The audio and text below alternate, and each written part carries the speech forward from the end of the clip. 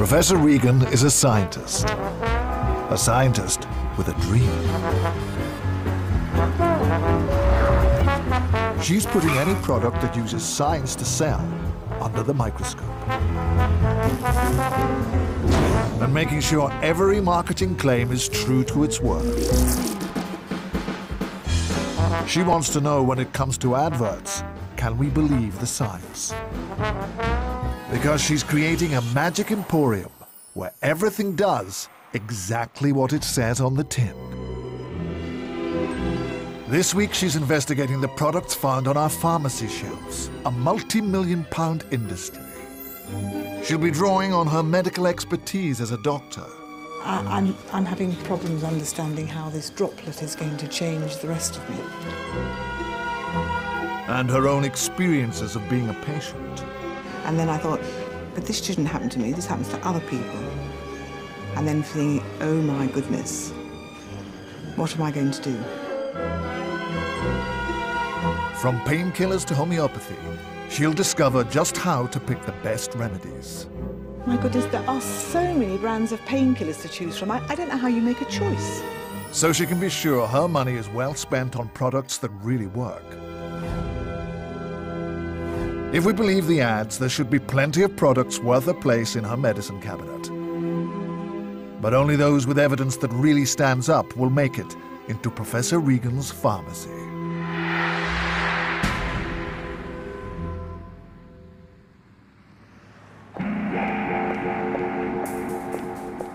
For 14 years, Professor Regan has run the obstetrics and gynecology department at St. Mary's Hospital. Hi, Patrick. It's uh, Prof. Regan speaking. Every treatment and drug used in her clinic is backed up by rigorous scientific research. Another, another bad hair day. Scientific proof really means something. Small clip to me, please. But medicine is no longer just restricted to hospitals and doctors' surgeries. It's on the internet and in the high street. I can get a free consultation and buy a scooter all in the same shopping trip. Everyone seems to be cashing in on our fears of getting sick. Is there anywhere in this high street that doesn't want to sell me a health check? But surely when we're in a pharmacy, we can be sure every product has the type of scientific backing that Professor Regan likes to see. Can't we? She wants to know, is there a perfect painkiller? Can anything stop you getting a cold? Do homeopathic and herbal remedies work? And is there a health check that could stop you ever getting ill? If so, then Professor Regan is going to find them.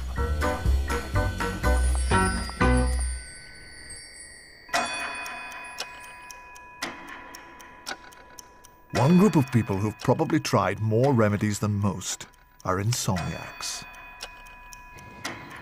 Hugh, Kate and Alex have been dealing with insomnia for years.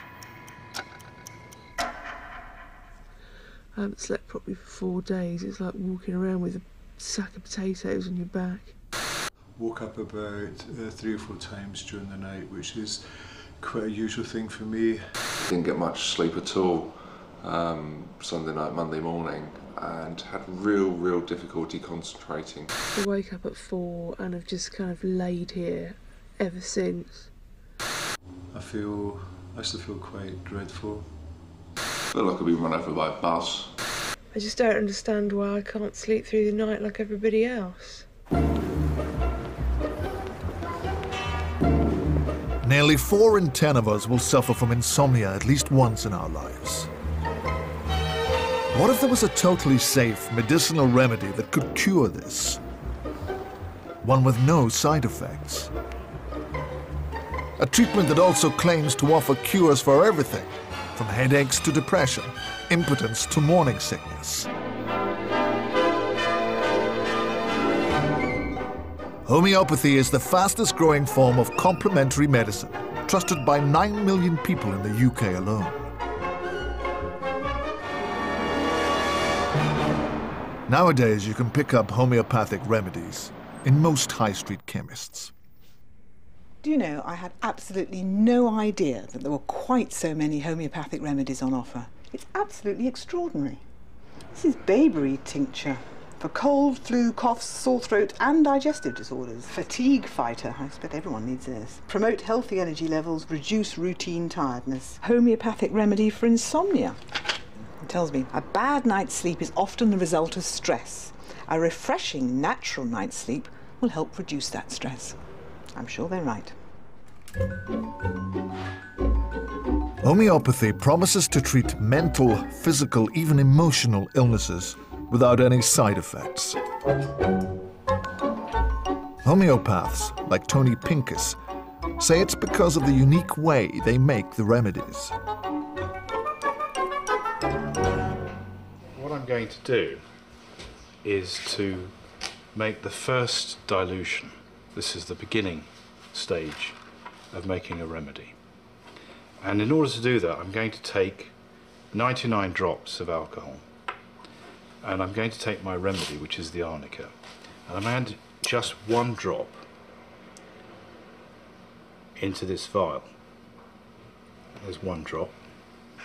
And now I'm going to shake this very vigorously 20 times.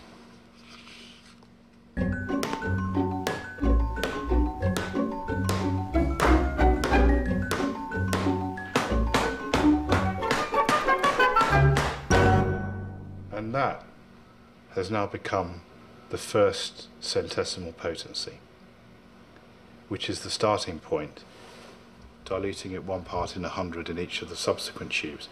As we progressively dilute and shake, you can improve the effectiveness of the remedy and also take away the side effects. So it's a win-win situation. By the time it has been diluted 12 times, it's highly unlikely a single molecule of the original droplet will remain. But according to the principles of homeopathy, the more dilute a preparation becomes, the more powerful it gets. This machine, which is called the Pincus Potentizer, will allow us to make very high potencies. The dilutions go as high as 100,000 dilutions to 1 in 100 which is a phenomenal number of dilutions, but it's the highest potency that homeopaths tend to use. And that takes 14 days using a machine, but it could take months and months by hand.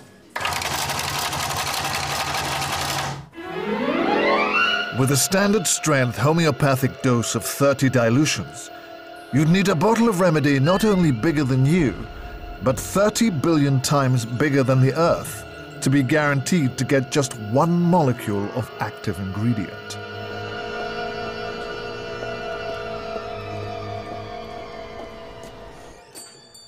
The products for sale in Tony Pincus's pharmacy are nothing like the medicine Professor Regan usually gives her seal of approval to.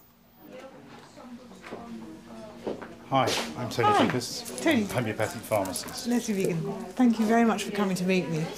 It looks um, intriguing here.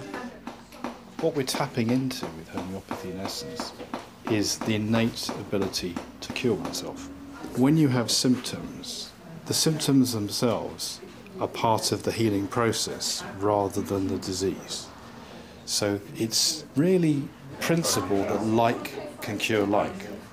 Now, if a patient came to you and said, Look, I've got streaming eyes, I'm sneezing, and I've got a sore throat, that would be a remedy picture that would respond to onion. So I would give them onion as a homeopathic remedy in order to treat that particular condition. But I find that very difficult to understand because we, we're talking about a tiny, tiny, tiny, tiny dilution, aren't we? Or rather, a massive dilution and a tiny amount of active ingredient, one in hundreds of thousands of parts. And I, I, I'm, I'm having problems understanding how this droplet is going to change the rest of me. We are still in a position where science hasn't caught up with, with homeopathy. But nothing is sensitive enough to recall uh, materials that have such a high dilution. But we know from our experience that the remedies do work and they have been working for the last three centuries. So trying to explain it to a conventional scientist is more, and more difficult because we don't have the wherewithal in science as it is today to actually be able to do that. But one day we will. But is modern science really struggling to catch up with homeopathy? A surprising number of scientific studies have been done on these products. Professor Regan has three golden rules for examining all scientific papers. Rule 1. The results are published in a reputable scientific journal. Rule 2. The trials are done on a large enough group of people that any positive results are significant. And Rule 3. The trials are carried out with a control group given placebo pills or treatment for comparison. Will the studies into homeopathy pass these tests?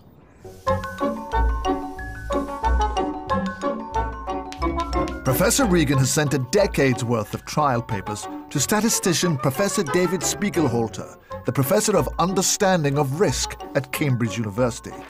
This is a man who spends his life using these golden rules to critically examine medical papers.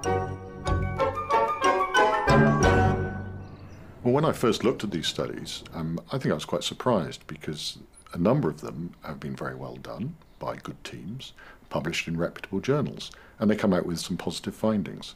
But they tend just not to be big enough. Even the good ones are just not big enough to be convincing.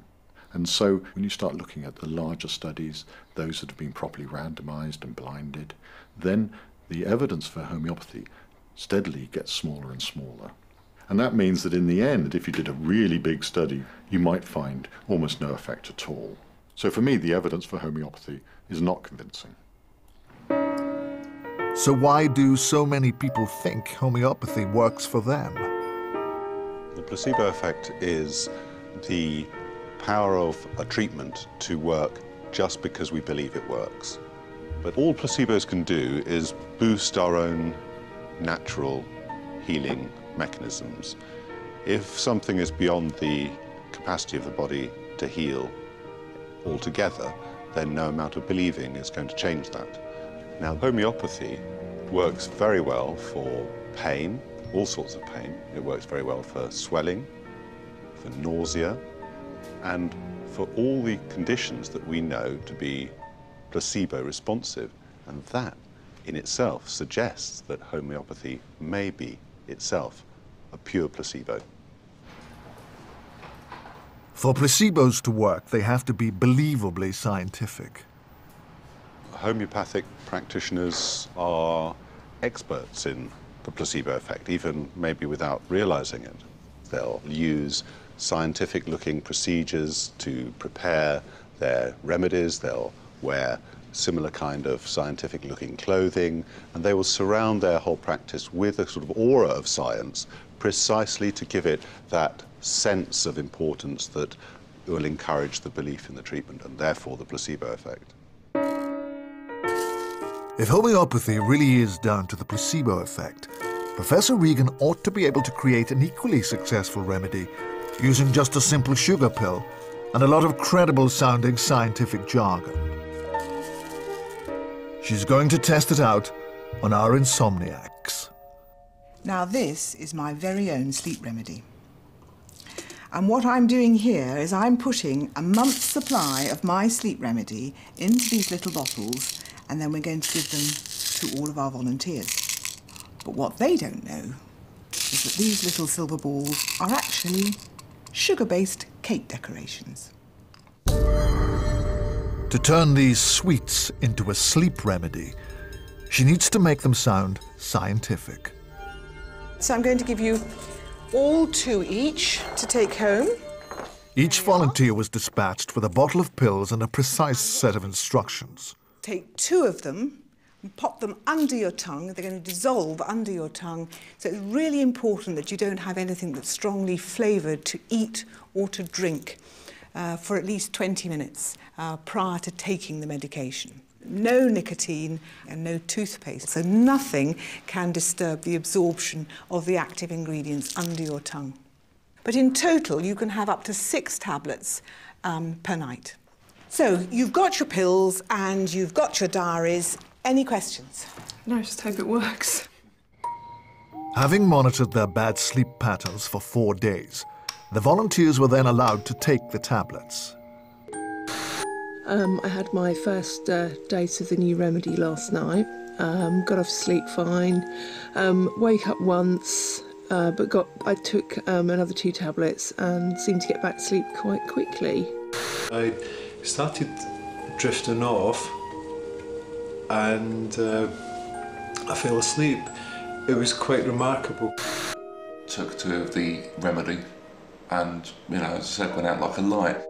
I took my second dose of the remedy last night and actually slept through till five o'clock this morning, which is pretty good going for me. I managed to sleep right the way through um, without waking up at all. And I was quite surprised. Something seems to be working. Uh, I feel full of energy this morning. A week later, they come back to tell Professor Regan the good news. So welcome back, everybody. Thank you very, very much for coming. Now, this is what you've all come to hear, uh, what actually was in this special sleep remedy. So, what I'm going to tell you now is actually there was no active ingredient in those pills. they were placebos or sugar pills. My sort of reaction to what you've been telling me is that the first couple of nights, the, the wanting to believe that it would work may actually have had a positive effect. Would you agree? Yes. I was just so looking forward to trying it and actually looking forward to night time coming round to try it and actually getting that good night's sleep. But it's funny how Hugh and I did sleep better those first two days. But the positive side of all of this is that it does seem that you had a couple of nights of better sleep. Professor Regan's sleeping pills worked because of the placebo effect. If homeopathy also works because of the placebo effect, could that be enough for Professor Regan to find a place for it in her pharmacy?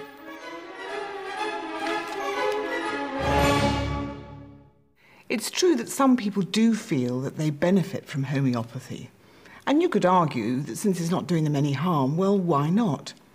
But I don't think there's any robust evidence to support the view that homeopathic products are any better than a placebo. So, from a personal point of view, I'd find it very difficult to recommend them to people. In the end, the scientific trial data wins the day. Homeopathy is out. Next on the list, the thing we most commonly buy in a pharmacy. Painkillers. Well, I've been working as a doctor for 28 years, and I know when it comes to painkillers there are three main types. There's aspirin, paracetamol, and ibuprofen. And they work by different mechanisms, but those are the three main painkillers. So, why is it that when I go to my local chemist shop, I can find all of these different preparations?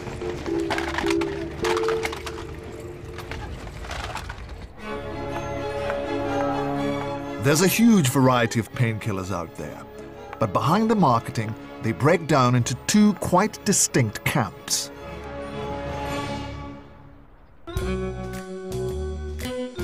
The first type are shiny and glossy, beautifully packaged. They come out with a perfect pop.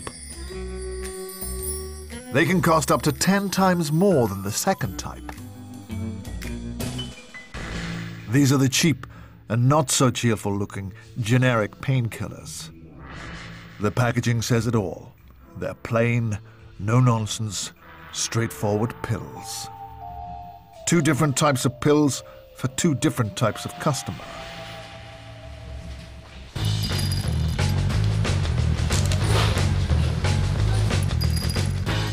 Go for the generic. I'm a brand person. Paracetamol's what I have, just the ordinary paracetamol. I don't know what it is. The pink one looks like Smarties. Ibuprofen. Uh, generic. Yeah, always generic. Known brands, actually, yeah. Oh, definitely Nurofen, man. Yeah, you need to buy Nurofen, of course. That's the only one that works. Trust me. I've used every single one of them. That's the only one that works. If all these branded tablets contain the same active ingredient as this generic option, can they really be any better at killing pain? Is it worth forking out the extra dosh for the posh pills?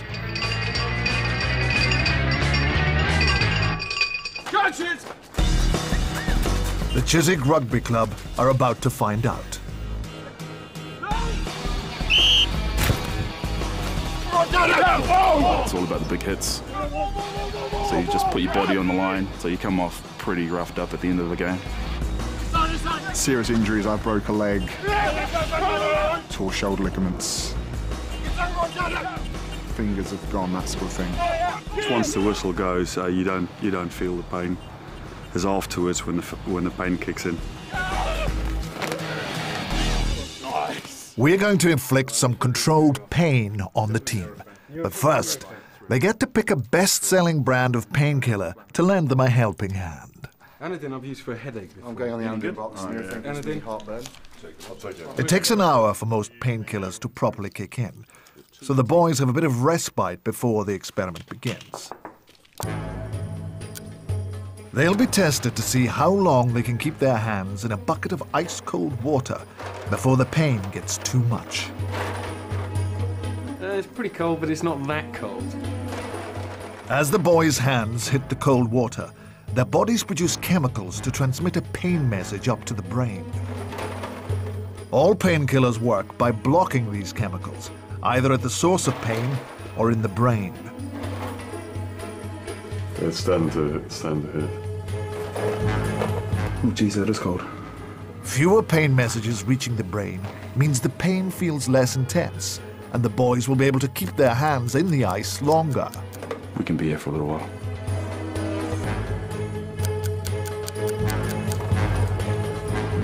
Lost a bit of feeling.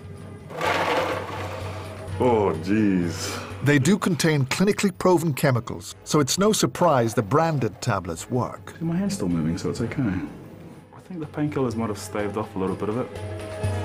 On average, they manage to keep their hands in the ice for six minutes. And that's about where I get out. So it's about an hour. So will they notice any difference when they do the test again, this time taking unbranded drugs? It certainly looks cheaper than the Yeah, Anadin, doesn't it? Well, I think it's all about the ingredients, really, because that's all you take. It's the same stuff, isn't it? Um, and That's the same thing. I'll have it. Credit crunch drugs, Yenny. That's what you need. That's what we call it. We're too clever to be fooled by packaging, aren't Oh, we? of course, you know. The active ingredients of generic and branded products are often the same. So is the extra cash we spend on the branded products just a waste of money? If so, our rugby team should find they can hold out against the cold just as well this time with the unbranded products. But will they?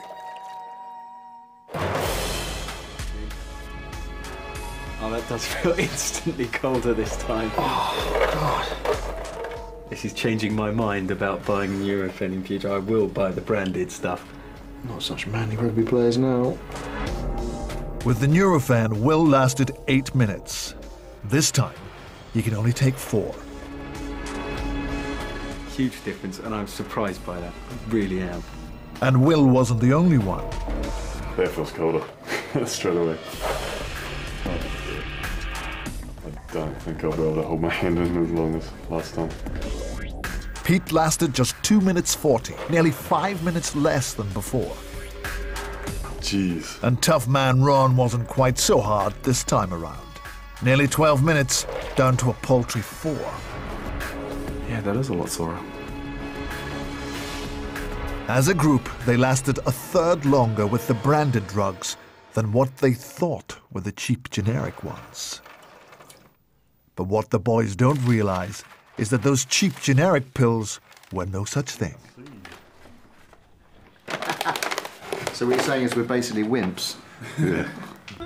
Inside the generic looking bottles were exactly the same branded tablet they took the first time, with just the packaging and the labeling removed.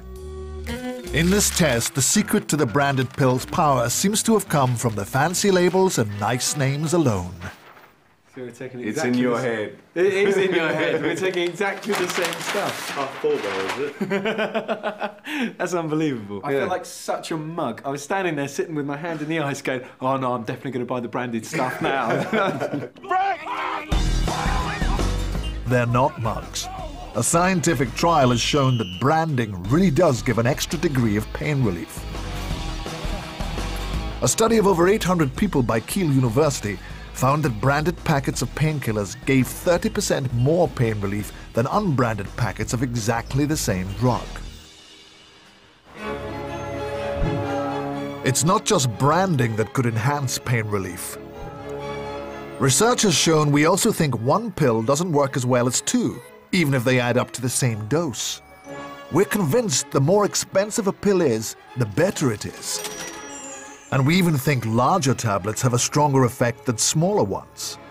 Unless they are very, very small, in which case we think they work the best. Many branded and generic drugs contain exactly the same ingredients, but the generics can be a fraction of the price. So surely only they will make it into Professor Regan's pharmacy. The ways in which these branded products are marketed sometimes provide an additional placebo benefit. So, for some people, paying the extra for the branded variety may actually provide them with more pain relief. Generic painkillers make it into Professor Regan's pharmacy because they are pharmacologically proven to work. And because branded drugs contain the same ingredients, plus a possible boost from their branding, they also make it onto the shelves.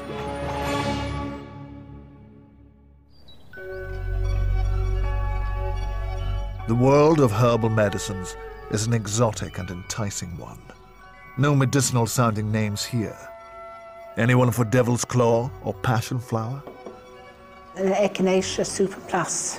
Echinacea and elderberry spray, which I put under my tongue. Milk thistle. St John's wort a lot, which is classic for depression. Skullcap, just to uh, keep me relaxed and uh, calm. It's true that many of these remedies have been around for hundreds of years. But we're talking about remedies that were originally used to treat saddle sores, snake bites, and venereal disease. So why are we choosing these antiquated options over high-tech, clinically proven modern medicines? Herbal products are natural and so I think are much safer than the chemicals. I think I have this um, conception that conventional medicine is, is bad and herbal medicine is good. Knowing it's a, a herbal, it's not going to have any real side effects as far as I'm concerned. Herbal remedies promise all the powers of modern medicines without any of the fear associated with pharmaceuticals. Can they really be as good as they sound?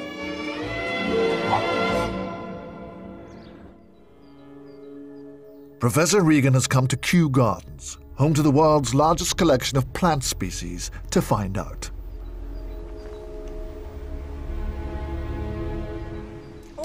Hi, nice to meet you, Professor Professor Monique Simmonds runs the plant laboratory here at Kew. Plants are just fascinating chemists. So they come up with really good diversity of compounds that sometimes a chemist just hasn't thought about. It's off for a tour of the gardens. According to Professor Simmonds, you really can find a medicine cabinet in your garden. This is this is ginkgo tree. It's got this very very distinctive um, leaf here, and the leaves contain some compounds that increase blood flow. and therefore has two uses. One is a cosmetic use to increase blood flow so that it would increase circulation, etc.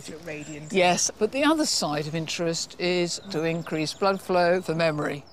It's one of the plants where they have got uh, some clinical data. Pharmaceutical companies aren't stupid. They've long since cottoned on to the power of plants. Oh, this one. Yes, this is the uh, the Taxus utri. This is very toxic, especially the needles here. But what was isolated uh, back in the 1970s was Taxol. Ta- the anti-cancer drug? That's right, from the needles. From the needles. The last thing somebody uh, should take if they're actually suffering from cancer is to think that they're going to get a treatment by actually taking these things because there is such, such a big difference from taking, you know, taking something like this and eating it and having it um, prepared in the right way. And that's what a lot of time is spent and money by the pharmaceutical industry, turning a leaf like this into a drug that can be used as a medicine. Okay. The tour continues at the top secret Jodrell laboratory. Welcome to the Jodrell. The team here are studying every inch of Kew's plant collection to discover new drugs. Pharmaceutical drugs, like ones developed here, have to go through years of expensive testing before they hit the shelves. Many herbal remedies have not had this kind of scientific investment, but surprisingly, some do have real proof. Some of our larger high street chains will be selling products that where there is some clinical uh, evidence associated with them. Say things like St John's Worts, etc., where you know over the years they have collected trial data about to support their, the claims that are made. But if herbals do work, just like modern medicine, they can have side effects. Because I meet so many people who tell me that they're taking something that's herbal, and then they go on to tell me that's natural, and therefore it, it, seems to follow automatically to them that natural equals safe, and that's just not the case, is it? Herbal remedies can be very, very powerful, and that's why they really do need to, need to be uh, treated with respect, because you've actually got something that has got an active ingredient in. If you're being prescribed westernized drugs, whatever you do, don't take these two in combination without getting advice. Something that Sarah Jackson found out to her cost. When I was doing my weekly shopping, I picked up um, some St John's wort tablets, and I'd heard that uh, these tablets can lift you spirits if you're feeling a bit down. So I thought, oh, I'll try those. Keeping up with her two young sons, Sarah was always on the go, and she thought this herbal remedy might help to ease the winter blues. I took it for at least three days, possibly I, I took about a week, um, and then I forgot all about them because they were in a different handbag and I just forgot to take them. But just a week on the remedy was enough to give her some pretty big side effects. I had no idea how powerful St John's wort was. Um, I did read the label before I took the tablets and it did say consult your doctor, as they all do. Um, but I had n- absolutely no idea the impact that they would have. As a consequence of taking the St. John's wort, Sarah went from a mum of two to a mum of three. I was so shocked at finding out I was pregnant. Um, my doctor asked me if I had, when I was taking the oral contraceptive pill, if I'd been ill, had I'd been sick, which I hadn't been. There was no reason at all um, until I found in my handbag this St John's wort tablet, and I did say to the doctor in the next visit, would that could that have caused? And she said most definitely would have been due to St John's wort tablet affecting this, the contraceptive pill, but I had no idea that that could happen. No idea. Are you going to bite his nose? Oh, now he's here. We wouldn't change it for the world, you know. Um, absolutely. It's well known that St. John's wort can reduce the body's ability to absorb the contraceptive pill, as well as many other drugs. And many other herbal remedies also interact with conventional drugs. Professor Regan has seen the benefits herbals can bring, but also the dangers. Has this put her off putting them into her pharmacy? Herbal medicines can be powerful and effective drugs, but just because they come from plants doesn't mean that they're harmless. In fact, if they're effective as drugs, they're likely to be accompanied by side effects. So before you take a herbal remedy, do make sure that you've consulted an expert. Many herbal remedies haven't been scientifically proven to work, so those don't make it in. But those that do have evidence, like St. John's wort, ginkgo, and echinacea, will be on Professor Regan's shelves. But she'd like more than just echinacea for the cold section of her pharmacy.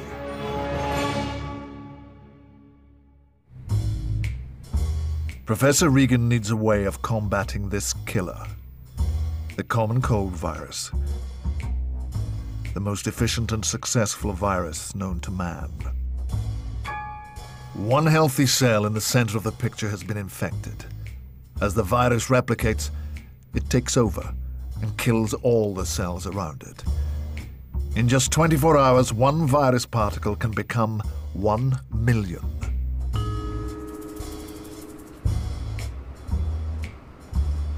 This is the man charged with stopping it in its tracks.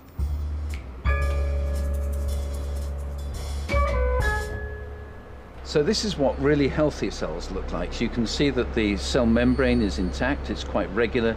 The cells are in, in contact with each other. The, the nuclei, which you can see in blue, um, are fairly even in shape. So we can contrast these normal cells with what happens in the infected cells. And you can see that these cells are, are strung out, they're irregular in shape, they've lost their ability to attach. So they're just turning into machines for making more virus and for pumping out virus particles from the cell.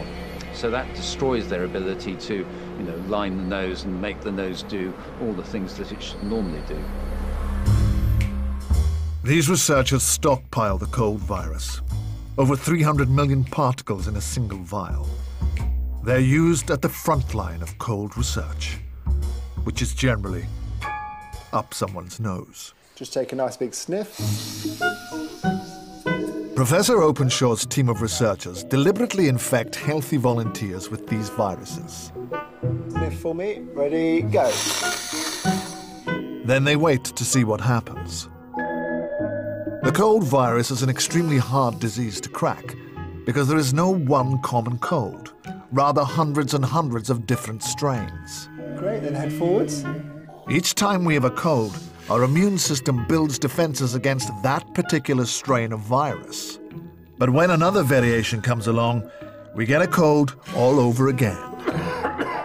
I've got a blocked up nose, uh, my voice has changed, um, my throat hurts a bit, and I've got lots of nice green phlegm, so, um, okay. you know.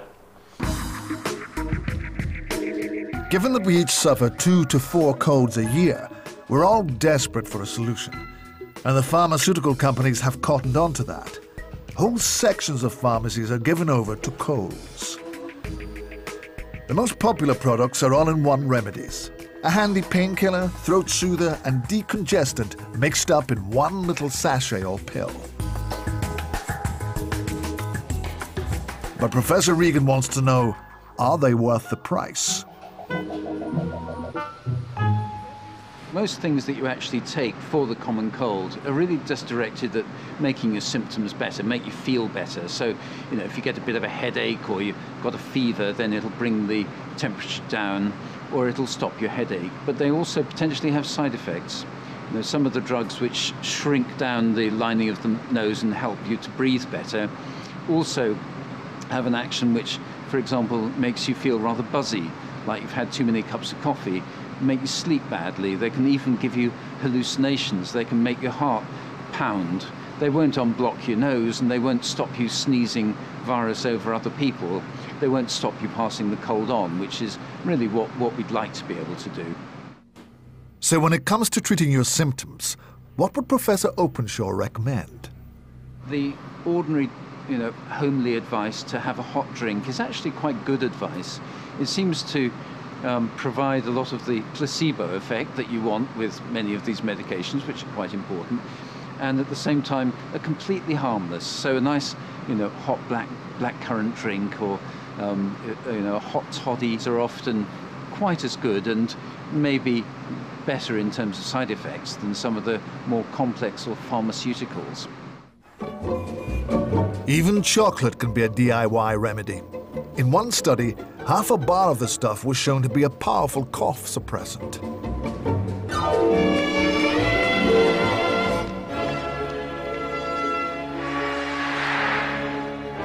So Professor Regan has found both branded and generic painkillers and some herbal remedies a place on her pharmacy shelves.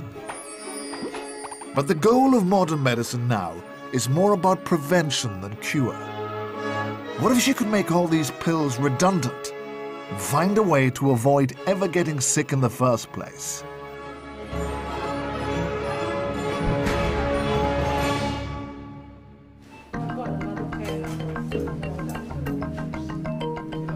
As a practicing surgeon, Professor Regan is used to using the latest techniques to treat people already suffering with disease.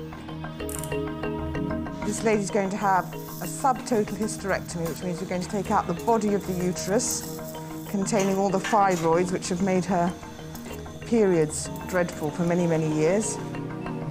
But Professor Regan also knows how crucial it is to catch diseases before they've really taken hold. Not just because that's her job, but because it saved her life. I went for my routine yearly mammogram and ultrasound scan of the breast because I've got a strong family history of breast cancer, and so I've been having these for ooh, 10, 15 years. Two and a half years ago, she was diagnosed with early stage breast cancer.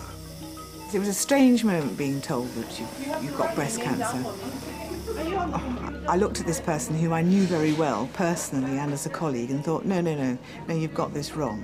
And then I thought, no, she hasn't got this wrong, that's why she's telling me. And then, but this shouldn't happen to me, this happens to other people. And then thinking, oh my goodness, what am I going to do? Professor Regan was lucky. Her cancer was detected early, and she's now cured. Well, it was a little bit of a fight, but we got there in the end. Picking up disease before it's even started is the newest promise of modern medicine. It could be the solution to our deepest, darkest fears. I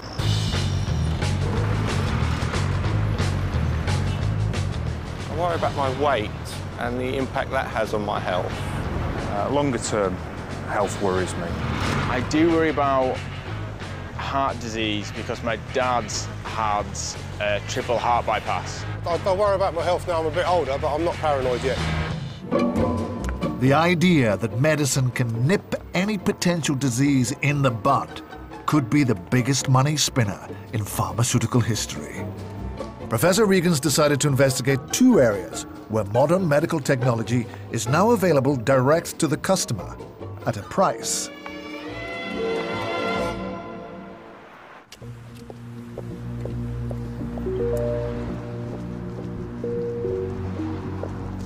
First up, coming to a church hall, synagogue, community centre, or even a scout hut near you, a company that claims it could save your life for £150. Lifeline screening began in the US 15 years ago, and now they're here. They focus on specialist ultrasound tests. They scan your arteries and bones to check for risks of stroke, heart disease, and osteoporosis. What brings people to spend money on this? I have a six-year-old daughter and I feel that I'd really like to do as much as I can for my health to try to make sure that I'm around for her for as long as possible. My father died at 59 of uh, hardening of the arteries and it seemed sensible that I took some steps to see if I was on the correct course. I mean, my father had three heart attacks before he was 60. Mhm. So, um, when it all said to me, I should go. Thank you. I just want me to lie down here. Professor Regan is going to subject herself to the full lifeline treatment. The ultrasound technician first looks at the main blood vessel in the abdomen. If this was to rupture, it could kill you. This is for your risk of a fracture due to osteoporosis. They examine her bones to make sure they're not likely to fracture. Finally, they look at the carotid artery blood vessels in the neck yeah, to check they aren't likely to block and cause a stroke. So your blood flow here is nice and normal. It's mm-hmm. below 110 centimetres per second. The only difference All is Professor Regan's results were good. But does that mean she need not worry about her health anymore?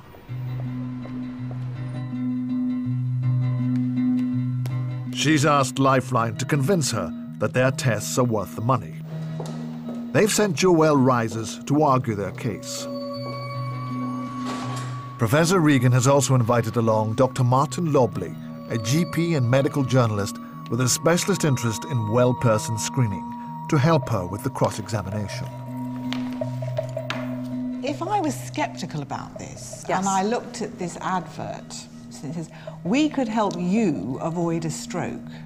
Can you envisage a situation in which you would be accused of scaremongering by this advert? Well, you talk to our people. What brought them to the screening wasn't that they got a piece of paper in the mail that made them go, oh, HARS, this is terrible, I need to run right in. No, what made them come in is that they had experiences already in their personal lives that made them wary and made them want to be proactive. When they got our flyer, what they saw was a way to do that. I'm a little concerned about the marketing, but I've had two invitations for screenings. I don't think appropriately. And outside of particularly narrow age band, if you're between 60 and 69 or 65, 75, depending on which papers you read, there really isn't much point in having your abdomen scanned at all. But you will sell that service to anybody who comes into your doorway, whether they're too old for surgery or they're too young to bother. We admit that the direct mail lists that we can purchase are not always perfect when it comes to age, which is why we're honest about the age group that we're looking at. And if you fall underneath that age group, feel free to throw it in the bin. The Lifeline tests are only appropriate for certain age groups. One of the tests, examining the carotid artery, is designed to pick up furring in the arteries, which could cause a stroke. the jawline there, Carotid artery screening, the procedure it may well lead on to, having the artery scraped clean, has a 1 in 30 mortality rate or severe, as in another stroke, side effect rate. It may just be that most people that age have furry carotid arteries. A very low proportion go on to have a stroke, and we're harming more than we're helping. We are screening people and providing them with the information on the status of their arteries, whether they may have mild or moderate or very significant carotid artery stenosis. It is the job of the GP and yourself to make that call. We don't refer, nor do we recommend any treatment. These tests were designed for patients who have been found to have other clinical signs of arterial disease. There is not yet evidence that the results of these tests are reliable when they are performed on healthy people. Next, Professor Regan wants to look at an even newer technology that promises something even more far reaching the ability to read your future from your own DNA. One of the most popular sites is Decode Me. decodeme.com invites me to decode yourself, your genes, your health, your ancestry. Click to play video. Well, the way it works is uh, you send us a sample from the inner cheek of your mouth, and we measure up to a million different DNA markers. So you have a personal profile about which diseases you're at higher risk for based on the information that comes from your DNA. The Decode Me tests cost up to $1,000. You don't need to speak to a doctor, and within just a few weeks, you can log in to be told your risks of disease. So this gives you an opportunity to empower the individual, in the case of Decode Me, to be able to do something to him better their lives. It sounds as though that's the answer, isn't it? That it's going to resolve all of my problems and answer all of the questions I would ever have about my health for the future, but I'm not sure that that's what it does. You know, what do you do if you find that you've got Alzheimer's? To my knowledge, there isn't a cure for it. So, knowing that you're more likely to get it is do you want to know that when there isn't a cure out there available for it? Isn't it going to actually make you feel very miserable? To face Professor Regan, Decode Me have flown in from Iceland their founder and CEO, Dr. Stefansson. To help her get to the bottom of these genetic tests, Professor Regan has invited in Dr. Christine Patch, a member of the Human Genetics Commission and chair elect of the British Society for Human Genetics. Do you regard Decode Me as a sort of intellectual activity of curiosity or as a sort of health screening service? It's a combination of these two. So you can find buried in your genome an awful lot of important information on yourself, including your risk of very, very serious diseases. And it gives you an opportunity to react on that knowledge or not. But if I come to you and I do a test which shows that I have a much greater risk of Alzheimer's than, for example, Christine, what do I do about that? Uh, for the moment, there is absolutely nothing you can do about it. But I'm now distraught. It would, you know, be sad if you would be distraught. But this is your choice to decide that you want to know this. So if you think that you will be afraid of the results of your Alzheimer's disease, I would recommend to you that you should not look at it. It is very patronizing to say to people, you cannot learn more about yourself, you cannot learn about your genetic risk of diseases because you don't fully understand the implications. It isn't yours or mine to take the right, that right to self-determination of people. So after hearing from the companies, what do Professor Regan's medical experts think of these tests?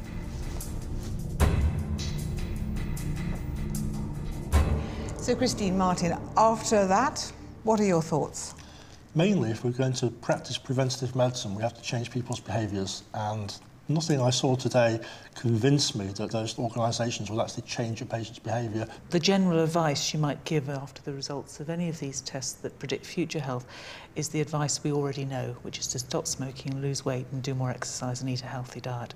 And I'm not sure that in terms of preventative health at the moment that these tests would add anything more than that. Has Professor Regan been convinced by these screening tests?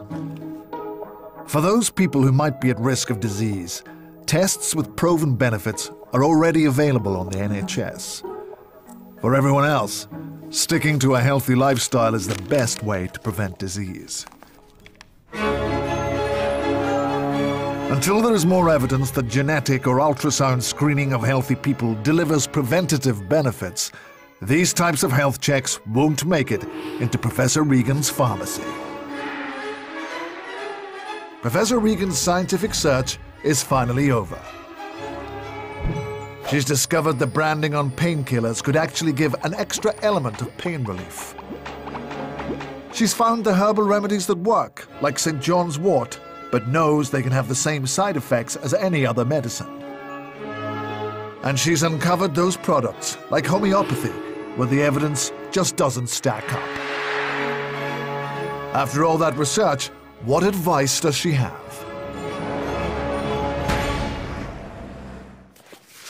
Even in a pharmacy, you have to remember it's still a shop. And after all, these companies want to sell you something. So always read the claims really carefully and ask to see the evidence that the product is going to really match up to your expectations. If you follow Professor Regan's rules and always ask to see the science, you too can be sure of buying products that would deserve a place on the shelves of Professor Regan's scientifically proven pharmacy.